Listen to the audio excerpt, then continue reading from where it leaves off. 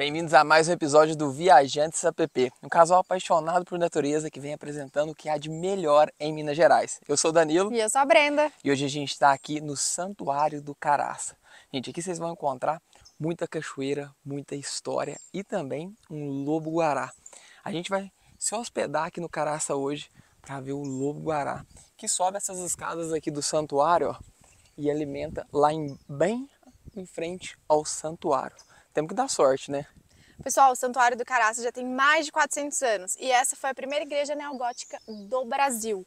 Por aqui passam por ano pessoas de mais de 55 países, ou seja, o Parque do Caraça é sensacional. Tem belezas naturais e muita história. Bora lá! Agora vamos torcer para a gente ver o Lobo Guará essa noite. Então fiquem ligados e bora conhecer uma cachoeira e logo depois a gente vai conhecer todo o santuário por dentro.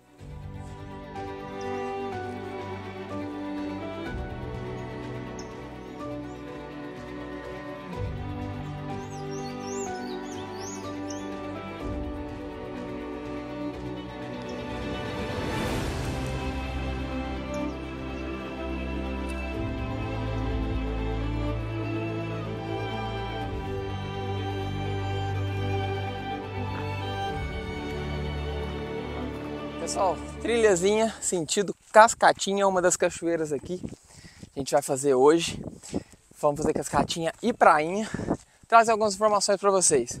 Ó, a entrada aqui do Caraça de segunda a sexta, 25 reais. E sábado, domingo e feriado, 35 reais. Para você que quer se hospedar e ter experiência com o Lobo Guará, a gente pagou 670 na suíte imperial aqui.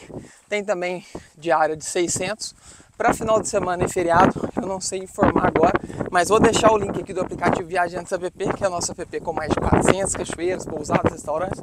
Enfim, você vai entrar lá, vai saber todas as informações que precisa. Lembrando que a hospedagem tem café da manhã, almoço e janta incluso. Vale muito a pena. Gente, é muito bom, é uma delícia. O lugar é lindo, viu? Nossa, comida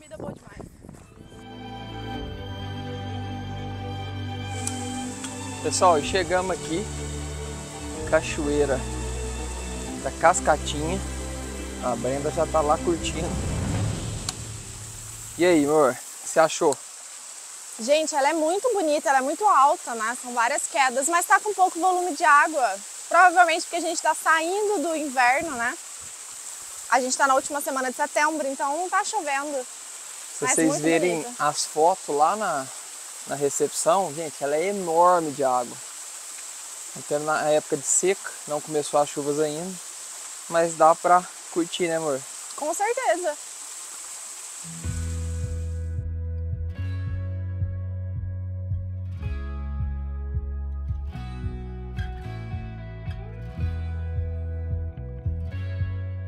Gente, muito raio. O tempo tá fechando. Olha isso. E a gente tá a 40 minutos do Caraça. Não acho que vá dar tempo da gente voltar pra lá antes da chuva. Então a gente vai precisar achar um lugar pra gente se esconder. Mas vocês sabem que quando tem chuva e raio, não é legal ficar perto nem de árvore nem de cachoeira. Então vamos ver se a gente acha algum lugar aqui.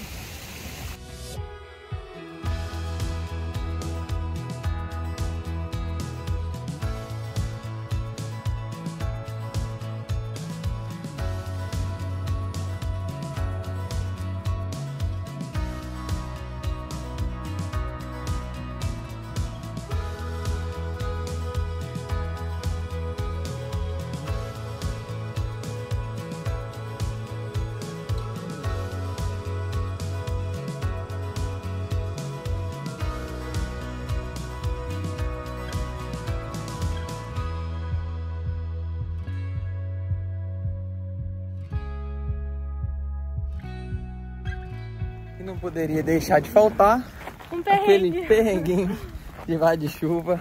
Ih, trovão. Nossa, muito raio. Tá vindo água, hein? E umas gotas grossas. Estamos correndo contra o tempo aqui.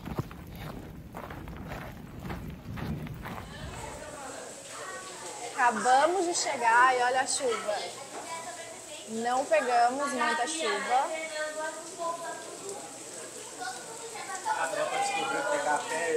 Pessoal, graças a Deus, chuvinha foi pra apagar o fogo, né, amor? Explica pra turma aí. Tava pegando fogo aqui, pessoal, no Caraça. 400 hectares foram queimados há dois dias atrás. Eles estavam já há dois dias tentando apagar e choveu hoje.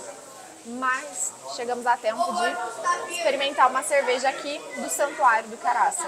A gente pediu uma stout e tá uma delícia. Tem vários sabores. Tem várias aqui. opções.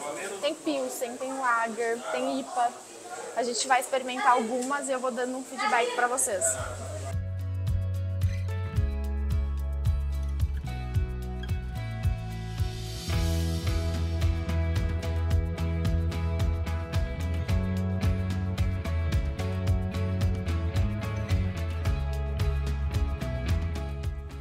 Pessoal, como a gente já tinha comentado com vocês, essa foi a primeira igreja neogótica aqui do Brasil. Ela foi construída né, em 1876. E o legal é que ela foi construída sem mão de obra escrava e foram utilizados elementos regionais, como quartzito, pedra-sabão e mármore.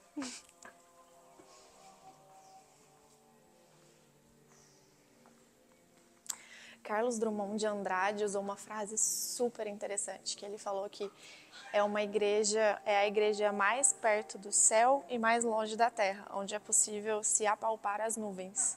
Lembrando que a gente está a 1.297 metros de altitude.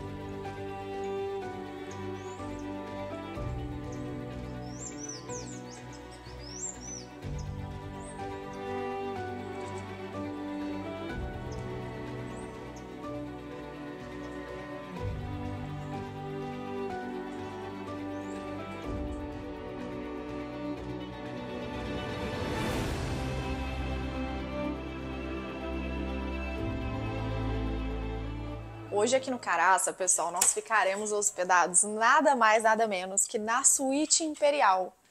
Esse aqui foi o quarto que Dom Pedro I e Dona Amélia ficaram hospedados na visita deles aqui em 1831. Olha que honra!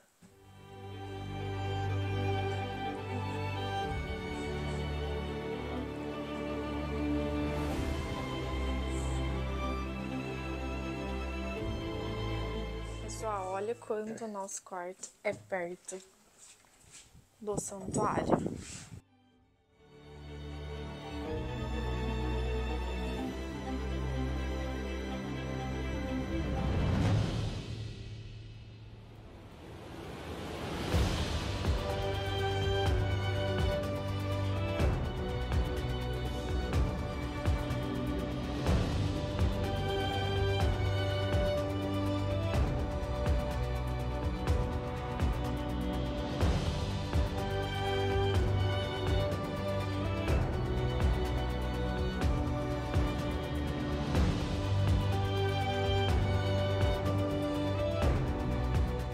Turma. E aí, quem tá animado para ver o lobo guará por aqui? Gente, hoje é o grande dia. A gente tá ansioso para ver se ele realmente vai aparecer. E eu queria trazer para vocês uma curiosidade. Olha que bacana disso aqui, gente. Isso aqui, ó, é um cacto. Ele se mistura com a pedra. Olha que show, gente. Não parece jeito nenhum, né? Igualzinho a pedra. Ó, Santuário do Caraça. Gente, que é bonito demais. Vamos tomar um cafezinho agora. Café. Todo, todas as comidas aqui excepcional, né, amor?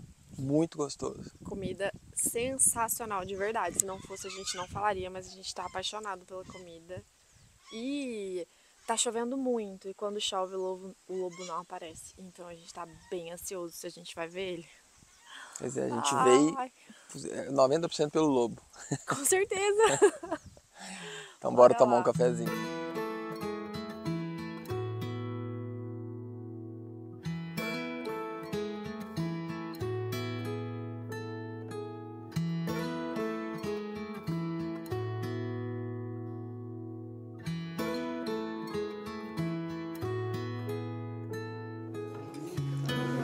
E aí, ficou bom o seu lanche?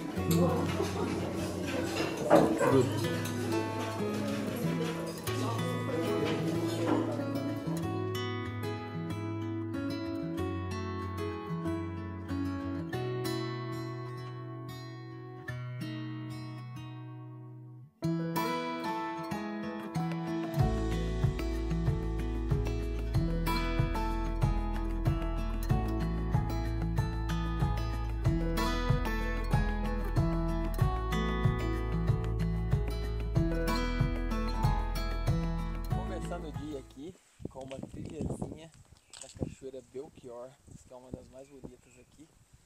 E coberta pelo asfalto e logo logo a gente cai pra trilha. E o dia tá bem nublado, tá uma delícia pra fazer trilha, de verdade. Bem fresquinho, tá até um friozinho gostoso. Tá. Depois de um super café da manhã, bora queimar as calorias.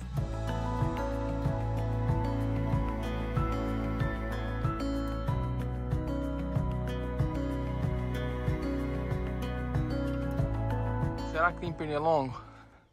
Dá uma olhada, turma.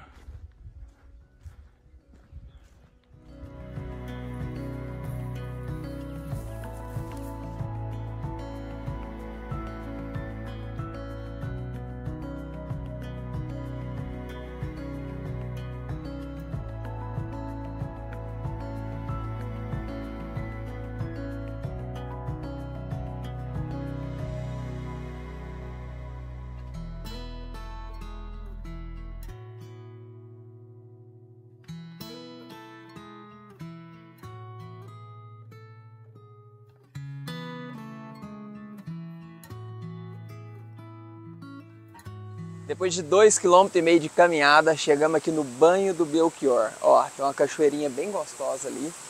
E olha a cor dessa água. A Brenda tá meditando aqui. O lugar é lindo, viu gente? Compensa muito passar por aqui. Vou dar um pulinho ali em cima e mostrar pra vocês. Na parte de cima tem outra cachoeirinha ali.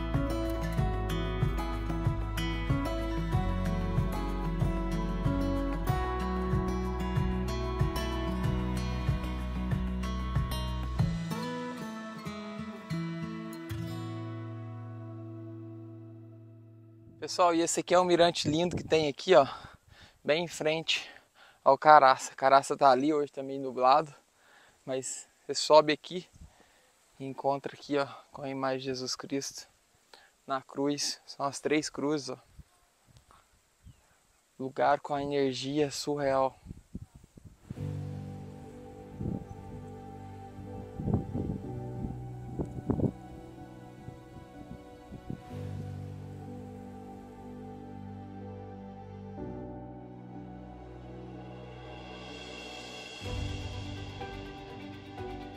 Pessoal, estamos indo agora sentido a Cachoeira Cascatona, uma das cachoeiras mais altas aqui. Linda. E uma trilhazinha, é a maior trilha também aqui dentro do Caraça. São 4 km e 800. Então tem chão bandado. Bora lá com nós. Pessoal, já expliquei algumas vezes sobre esses líquens aqui, ó. A Brenda, nossa bióloga aqui, vai explicar um pouquinho melhor, que ela, ela dá aula. Mentira. Contaram pra gente que os líquens, eles não têm sistema excretor. Então, eles são basicamente o retrato do quanto o ar é puro nas regiões em que ele está vermelho. Então, quanto mais cor ele tem, mais puro é o ar de onde a gente estiver. Então, é um bom parâmetro. Olha, e aqui no Caraça tem muito deles, gente. Então quer dizer que o ar aqui não tem poluição alguma. Diz que onde tem poluição, qualquer sinal de poluição, eles já morrem. Né? Sim. Biólogo. Veterinária.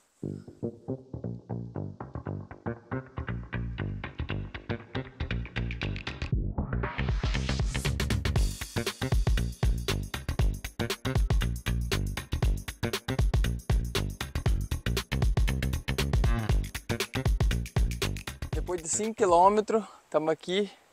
Uma escadinha aqui bem de leve pra gente descer, ó. De leve. Olha lá. Nossa, gente, ó. Gente, nós andou. Já foi 4 de manhã, agora mais 5. Nós já andamos hoje 9 quilômetros. E agora Tem a volta ainda, viu? tem a volta. E agora uma descidinha. Vai lá. Bora. Sua vez. As damas primeiro. É, né?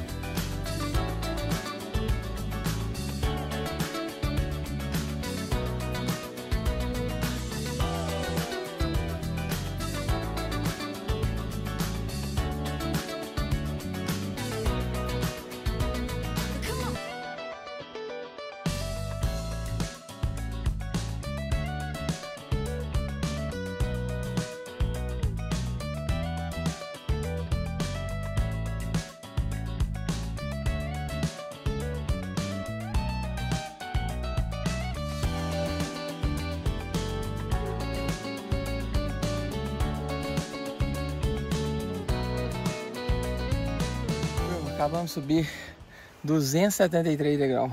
278. Vou pôr um videozinho que da Brenda subindo o time lá pra vocês verem. A parte mais difícil da trilha são as escadas. Nó, brabo. Mas valeu E a agora tem só mais 5 km pra frente. Tá tranquilo. Turma, se não tiver um preparo bom, não vem não, que o trem é difícil. Olha aqui. Olha. Sopadinho. E aí, amor? Nossa, a volta é muito subida. Mas deu bom. Quase chegando.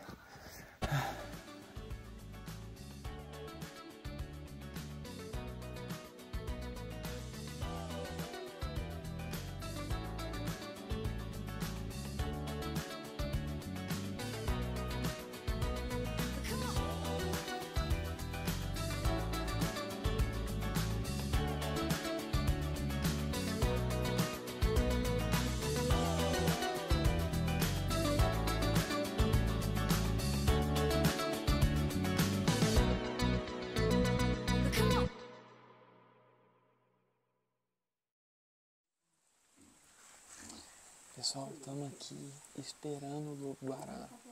São 7 horas da noite, 7 e meia. Eles colocam o prato ali, ó. Com comida pra ele. E ele já veio aqui procurar comida já tarde. Então ele tá com fome, mas tá chovendo e relampejando. Então estamos ansiosos, mas não sabemos se ele vai aparecer. Tem uma turma aqui já esperando também. Estamos debaixo, tá chovendo muito. A gente tá aqui na porta da igreja. Senta.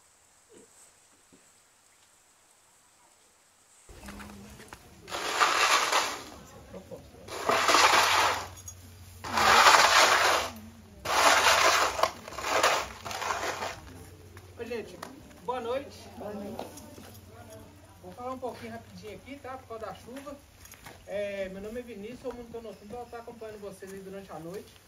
A gente passa algumas orientações aqui para não atrapalhar, nem, nem para um ou outro atrapalhar o outro, nem para atrapalhar a vida dos animais, tá joia? O que, que a gente pede? Não pode usar flash, tá? A gente pede para deixar o telefone no silencioso, porque qualquer som ou igual o flash, por exemplo, que não é natural, assusta o animal. A gente já percebeu isso aí, inclusive, uma notícia não muito boa. Com esses relâmpagos que estava agora há pouco, acostuma atrapalhar um pouco a vida dele, tá? É, às vezes pode surpreender a gente, mas não é muito comum não. E a gente pede também, enquanto o animal estiver aqui, evitar de conversar e de se movimentar. Porque muita movimentação, principalmente movimento brusco, ele se assusta facilmente também. Tá joia? É, a gente dá uma palestrinha rapidinho, tá? Vou falar aqui bem pouquinho por causa da chuva e até para não atrapalhar se ele chegar. É, contando essa história aqui, como vem acontecendo até hoje, beleza? Qualquer dúvida pode levantar a mão. É, isso começou em 1980, tá? O padre Zé Biasi, que era diretor aqui do Caraça. Ele começou a perceber que as lixeiras que a gente tinha aqui, diferente dessa lixeira que a gente tem aqui reforçada, com tampa, elas estavam amanhecendo sempre reviradas. E ele sabia que era algum animal, mas não tinha, não, não tinha certeza de qual animal estava fazendo isso. Então o que, que ele fez? Serviu uma bandeja de carne, tem recepção no lanchonete. No outro dia de manhã chegou lá, a bandeja amanheceu vazia. Então ele passou a repetir isso toda noite e a vigiar para ver qual animal estava fazendo essa bagunça aí. Foi onde ele viu que o lobo-guará estava revirando as lixeiras, tá? É, então o que, que, ele fez? Procurou biólogos, veterinários para saber o porquê desse comportamento do animal. E foi falado para ele o seguinte, é, provavelmente o lobo estava em busca de um complemento alimentar, não estava achando comida suficiente na natureza. E o que, que o lobo come? Ele é onívoro, tá? ele come de tudo. ele é onívoro, come de tudo, mas é um animal que gosta de caçar, tem instinto de caçador. E normalmente quais são as presas que ele gosta mais? Coelhinho tapeti, pequenos lagartos, é, rato selvagem, gambás, é, pequenas aves, serpentes, até as venenosas, tá? E sapo. Ele come sapo, mas normalmente ele come só a, a, as vísceras ali e as patinhas. Ele não come a parte das costas, por causa da glândula de veneno.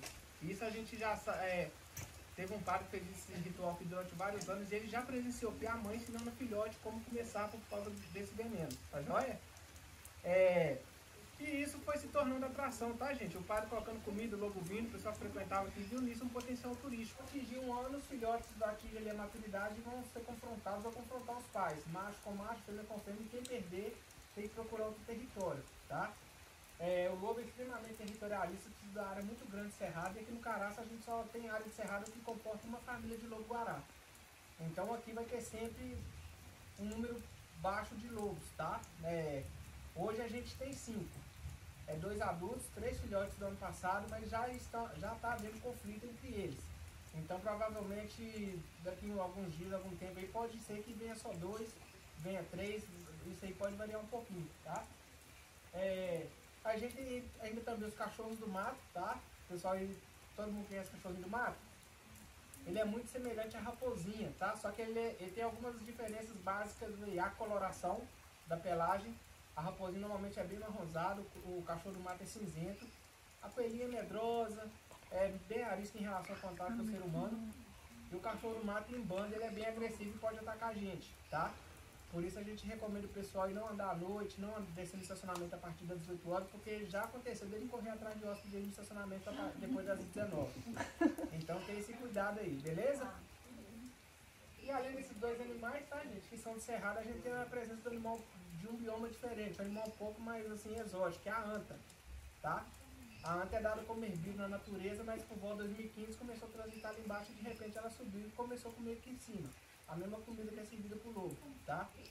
É, esse, o Douglas, que é o biólogo do parque, está em contato com alguns especialistas para saber se essa comida aqui pode fazer mal para ela, mas normalmente a recomendação que a gente tem dele é o seguinte, quando ela chega primeiro pro lobo, a gente retira as frutas que é colocar na bandeja, põe no frente e guarda a bandeja de carne lá dentro. Mas quando ela já vem já de madrugada, depois que o lobo já, já fez o banquete dele, aí a gente deixa um pouco mais à vontade. Tá joia? É, a frequência do lobo aqui, tá, gente, gira em torno de 70% dos dias aí do mês e, consequentemente, do ano, ou seja, 20, 22 dias por mês. A da anta é bem menos do que o lobo. A anta vem em torno de 7, 9 dias em média por mês, tá? Mas esses, esses animais não tem padrão nenhum de hora que chega, quantas vezes vem na noite, que dia que vem. Pessoal, já estamos na estrada, muito felizes. A gente teve uma experiência gastronômica, uma experiência de ecoturismo e de natureza, tendo contato com o lobo guará. Então, assim, a gente está muito, muito, muito feliz, né, Danilo? É isso aí, pessoal. Conta aqui pra gente o que, que vocês acharam dessa experiência. Você também tem vontade de conhecer um lobo guará de pertinho assim, se inscreve no canal, não deixa de baixar o aplicativo, que lá tá todas as informações para você que quer ir pro Caraça, lá vai ter o contato. Enfim, tudo prontinho para vocês. E próximo domingo, todo domingo às 18 horas, tem vídeo novo aqui no canal. Então se inscreve. Se inscreve aqui, ativa o sininho e curte esse vídeo porque isso ajuda muito a gente a produzir mais conteúdo para vocês. Valeu. Um beijo, pessoal.